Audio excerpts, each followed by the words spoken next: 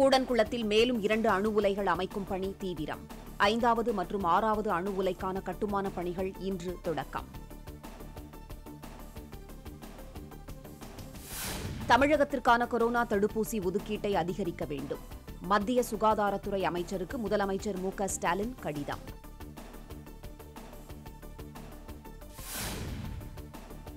கோவில்களில் பணியாற்றும் தொகுப்பூதிய பணியாளர்களை நிரந்தரமாக்க வேண்டும்.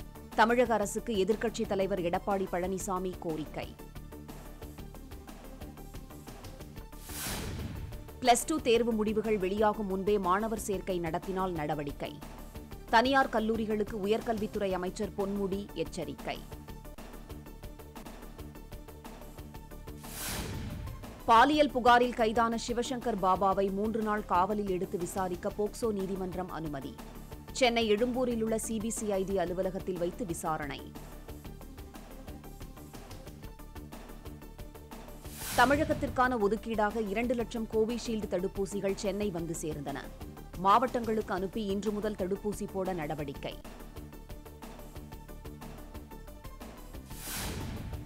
நீட் தேர்வு தொடர்பான அறிக்கை தாக்கல் செய்ய ஒரு மாத அவகாசம் அளிக்கப்பட்டுள்ளது.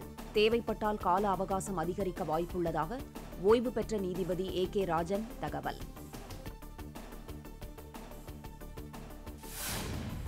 நாடு முழுவதும் இதுவரை முப்பத்தி இரண்டு கோடியே முப்பத்தாறு லட்சம் பேருக்கு தடுப்பூசி.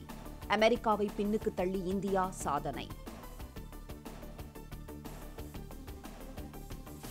ஜம்மு காஷ்மீர் லடாக் பகுதிகளை தனி நாடாக சித்தரித்து இந்திய வரைபடம் வெளியீடு. ட்விட்டர் இந்தியா நிறுவன இயக்குநர் மீது உத்தரப்பிரதேசத்தில் வழக்கு பதிவு.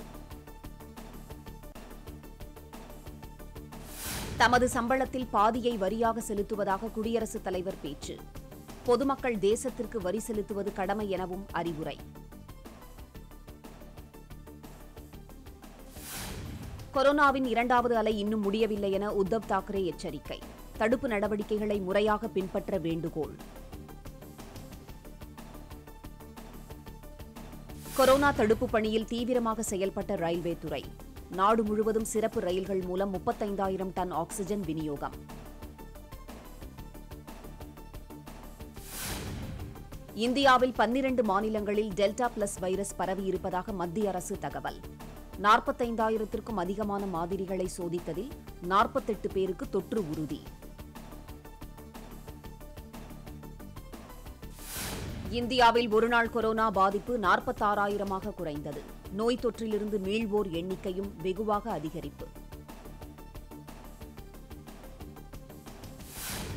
இருபத்தி நான்கு மணி நேரத்தில் உயிரிழப்பு தொள்ளாயிரத்து எழுபத்தொன்பதாக சரிவு. இரண்டரை மாதங்களில் முதன்முறையாக ஆயிரத்திற்கும் கீழ் குறைந்த பலி எண்ணிக்கை.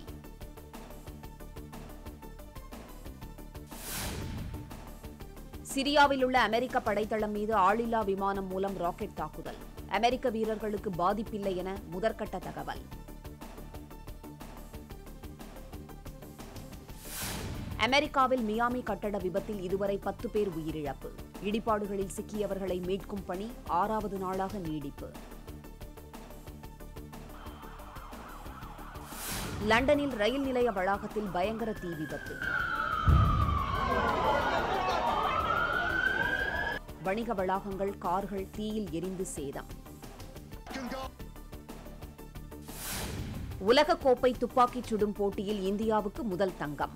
இந்திய வீராங்கனை ரஹி சர்னோபட் இருபத்தைந்து மீட்டர் பிஸ்டல் பிரிவில் தங்கப்பதக்கம் வென்று சாதனை. நாடு முழுவதும் கருப்பு பூஞ்சை நோயால் நாற்பதாயிரம் பேர் பாதிப்பு. மத்திய சுகாதாரத்துறை அமைச்சர் ஹர்ஷ்வர்தன் தகவல். ஒன்பது மாவட்டங்களுக்கு உள்ளாட்சி தேர்தல் நடத்த பூர்வாங்க பணிகள் தொடக்கம். ஊரக வளர்ச்சித்துறை அமைச்சர் பெரிய கருப்பன் தகவல். பாம்பன் தூக்கு பாலத்தில் தொழில்நுட்ப கோளாறு காரணமாக ரயில் போக்குவரத்து தற்காலிக நிறுத்தம். மண்டபம் ரயில் நிலையத்திலிருந்து ரயில்களை இயக்க ஏற்பாடு. களியக்காவிளை வில்சன் கொலை வழக்கில் விசாரணை தீவிரம். சிராஜுதீனை காவலில் எடுத்து விசாரிக்க தேசிய புலனாய்வு முகமை மனு தாக்கல். கொரோனா பாதிப்பிலிருந்து மீளும் விதமாக ஒரு லட்சத்து பத்தாயிரம் கோடி ரூபாய்க்கு கடன் உத்தரவாத திட்டம். சுகாதாரத்துறைக்கு ஐம்பதாயிரம் கோடி ரூபாய் செலவிடப்படும் என நிதியமைச்சர் நிர்மலா சீதாராமன் அறிவிப்பு.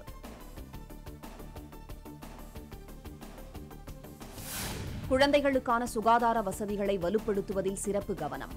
மத்திய நிதியமைச்சரின் அறிவிப்புகள் குறித்து பிரதமர் மோடி கருத்து. கொரோனாவிலிருந்து புத்துயிரூட்ட ஆறு லட்சத்து இருபத்தெட்டாயிரம் கோடி ரூபாயில் திட்டம். நாட்டின் பொருளாதாரத்தை சீரமைக்க மத்திய அரசு நடவடிக்கை. விம்பிள்டன் டென்னிஸ் போட்டியின் முதல் சுற்றில் ஜோகோவிச் ருபிலேவ் வெற்றி.